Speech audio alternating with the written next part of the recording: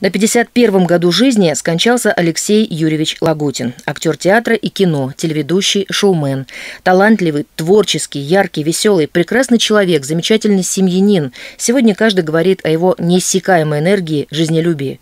Алексея обожали дети, для них он был лучшим Дедом Морозом, экскурсоводом, рассказчиком, учителем. Контакт с детской аудиторией налаживал мгновенно. За любое дело брался с интересом, большим творческим азартом. На Одинцовском телевидении Алексей работал 16 лет, вел несколько проектов.